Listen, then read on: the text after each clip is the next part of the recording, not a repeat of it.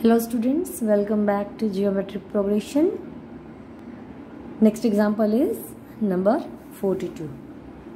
Now this kind of example is little bit different as compared to what we have done earlier. So example આવું છે obtain the sum of following series up to n terms. Last term કયો છે એ આપેલું નથી આપણે જે sum કરવાનું છે એ એન નંબર ઓફ ટર્મ સુધી કરવાનું છે. ઇટ મીન્સ આપણા એન જે છે એ એન જ રહેશે, એટલે પર્ટિક્યુલર ઇક્વેશન કે એવું કંઈ આવશે. જેમાં કોઈ વેલ્યુ નહીં હોય સિંગલ વેલ્યુ એની બદલે આપણને એનવાળા ફોર્મમાં મળશે આન્સર ઓકે આપણી પાસે ફર્સ્ટ ટર્મ હશે, આપણી પાસે મે બી રેશિયો હશે but we don't have n okay કેમ કે અહીંયા જે સમ કરવાનો છે એ એન ટર્મ્સ સુધી કરવાનો છે.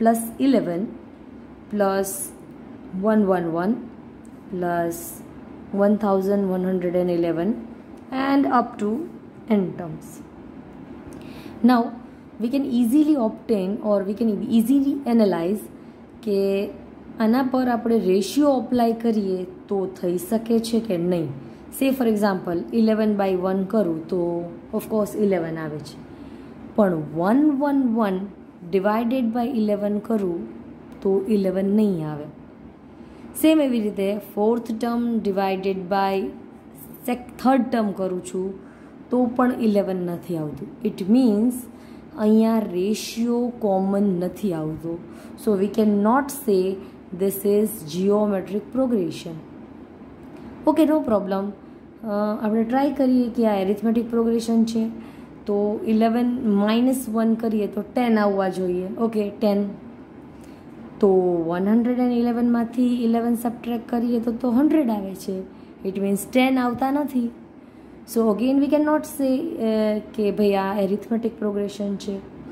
તો ઘણી વખત અમુક સિરીઝ એ એવી રીતે ક્રિએટ કરેલી હોય છે કે યુ કેન નોટ સે એ એરિથમેટિક છે ઓર જીઓમેટ્રિક છે.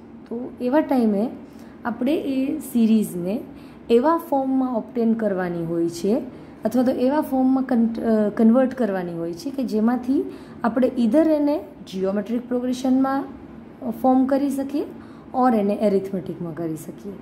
નવ, આપણે શું કરીએ છીએ? આ સિરીઝને અત્યારે હું નાઇનથી મલ્ટીપ્લાય કરું છું અને નાઇનથી ડિવાઈડ કરું છું. એવું એટલે કેમ કે નેક્સ્ટ સ્ટેપ લઈ જવા માટે આપણને મલ્ટિપ્લિકેશનની જરૂર પડે છે અથવા તો ડિવિઝનની જરૂર પડે છે.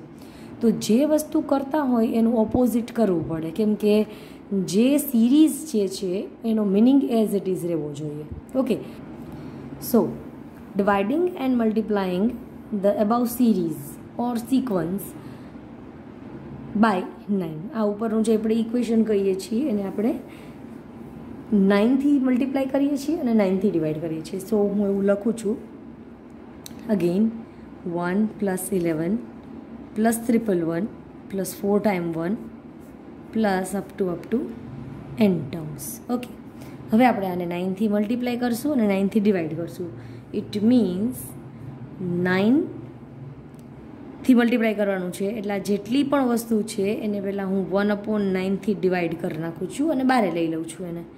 અંદરની જેટલી પણ વેલ્યુ છે એને હું નાઇનથી મલ્ટીપ્લાય કરું તો one into nine nine eleven to nine ninety nine then nine ninety nine then nine thousand ninety nine nine nine nine okay up to up to up to n terms okay આવી રીતે N terms સુધી લખીએ છીએ આપણે. અહીંયા કંઈ લખવાનું નથી.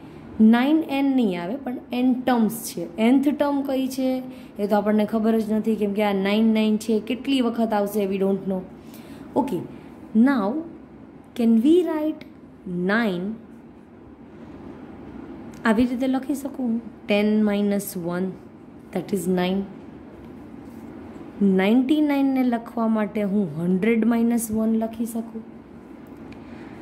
નાઇન હંડ્રેડ એન્ડ નાઇન્ટી નાઇનને થાઉઝન્ડ માઇનસ વન લખી શકું.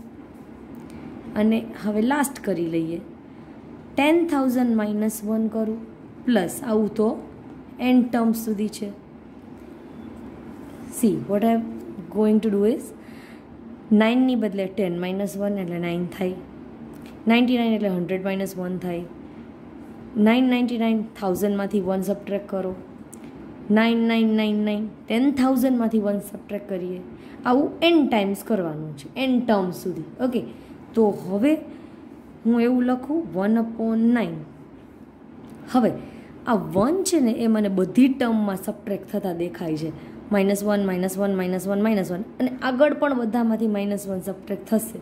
તો હું એમ એક કામ કરું. જેટલા પ્લસવાળા છે એ બધાને કલેક્ટ કરી લઉં. લાઈક ટેન પછી plus hundred plus thousand plus ten thousand plus plus up to n terms I don't know what is the n term હવે હું વનને કલેક્ટ કરું છું. દરેક ટર્મમાંથી વન નીકળે છે, આમાંથી વન નીકળે છે, આમાંથી આમાંથી આમાંથી. અને બધા માઇનસ જ છે. તો હું એવું કામ કરું, અહીંયા લખું minus one plus one plus one આપણે ફોર ટાઈમ્સ લખ્યું છે ને, તો અહીંયા વન લખીએ. પ્લસ પ્લસ પ્લસ કેટલી વખત? એન ટાઈમ્સ આ જેટલી ટર્મ છે, એટલી જ વખત આપણને વન મળવાના છે. તો વન પણ એન ટાઈમ્સ છે. વચ્ચે પ્લસ એટલે કર્યા છે કે મેં બ્રેકેટ બનાવ્યું છે અને આગળ માઇનસ લખેલા છે. તો હવે હું જો બ્રેકેટ ઓપન કરું તો માઇનસ બધાને લાગુ પડે. એટલે ઓટોમેટિકલી બધા માઇનસ થઈ જશે. Now if we analyse this series then we can say કે ઇટ મે બી પોસિબલ કે આ જિયોમેટ્રિક પ્રોગ્રેશન હોઈ શકે. Like 100 divided by 10 10 1000 divided by 100 10 10000 divided by 1000 10 તો દરેકે દરેક ટર્મની પ્રિસિડન્ટ ટર્મ સાથેનો રેશિયો આર ટેન આવે છે કોન્સ્ટન્ટ છે તો આપણે એવું કહી શકીએ કે ભાઈ આ આખે આખી સિરીઝ છે એને ભલે એન ટર્મ સુધી એડિશન કરવાની છે પણ આપણને ખબર પડી ગઈ કે આ જીઓમેટ્રિક પ્રોગ્રેશન છે આ વનનું શું કરશું? તો one plus one plus one plus one કેટલી ટાઈમ્સ છે? એન ટાઈમ્સ છે. તો હું એમ કહી શકું વન ઇન્ટુ એન વનને કેટલી વખત મલ્ટીપ્લાય કરવાના એડ કરવાના? એન ટાઈમ્સ ઓકે તો હવે હું નેક્સ્ટમાં લખું. One upon nine right. Now this is our 10 plus 100 plus 1000 plus 10000 okay enough. Up to n terms. Minus 1 plus 1 plus 1 plus 1 plus 1 1 n times. It means this is nothing but n into 1 or we can say n. હવે we have the series which is in geometric progression. So we can say a is equal to 10 we can say ratio is equal to 100 by 10 that is equal to 10 n n તો n જ છે કઈ term સુધી કીધું છે addition આનું તો એ તો n ટર્મ સુધી કીધું છે તો is equal to n now which kind of equation we are using for sum of n terms of uh, a geometric progression that depends on your r r છે એ વનથી મોટા છે it means s n is equal to a into r raise to n minus one divided by r minus one so હું અહીંયા લખું one upon n આ equation પ્રમાણે આપણા જે એ છે, એ ટેન છે. આરની એન પાવર આર એટલે કે ટેન ટેનની કેટલી પાવર ઓફકોર્સ એન આપણી પાસે એન નથી. Minus one divided by આરની n power sorry r minus one r ten છે. Divided by sorry ten minus one that is nine done this is what sum of n terms of the given series okay you can also verify this equation answer sorry this answer with your uh, book okay may be possible કે અહીંયા nine into nine નીચે at one કરી શકાય છે so we can okay one thing is remaining minus one okay minus N sorry this is minus n અને as it is પણ મૂકી શકાય છે. જો આપણે બંનેનો બેઝ ઇક્વલ કરવો હોય તો આપણે એવી રીતે પણ કરી શકીએ. So this is your final answer